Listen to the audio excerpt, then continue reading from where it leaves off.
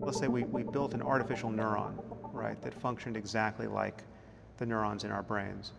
And you could therefore replace damaged brain tissue with artificial neurons that did everything they needed to do. So if you had a stroke and it damaged your language centers and you, you had aphasia after that, you, you couldn't produce speech or you couldn't understand speech, uh, imagine if you could go to the doctor and, and get new neurons, now artificial neurons, you know, not biological material, put in, in place of your damaged ones, and imagine you recovered all of your faculties, right? Imagine you, you just, they worked, right? And so now your conscious experience was uh, returned to its old character with these new neurons.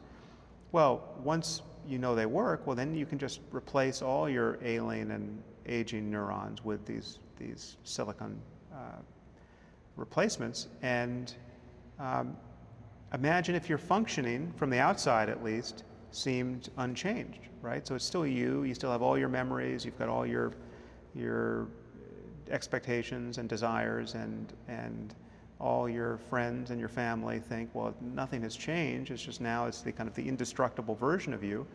Uh, there's, nothing, there's nothing left in there to get cancer or to, to go haywire, or if it does, it can be replaced. But uh, it's, it's hard to argue at that point that the lights would just by definition have gone out because the computer you're using is no longer made of meat.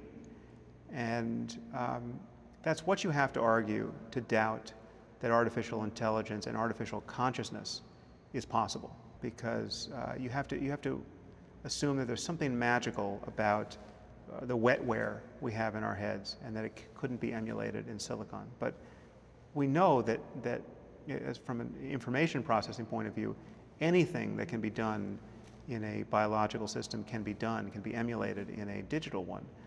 Uh, so it, it, does seem just a matter of time uh, before we, we do that.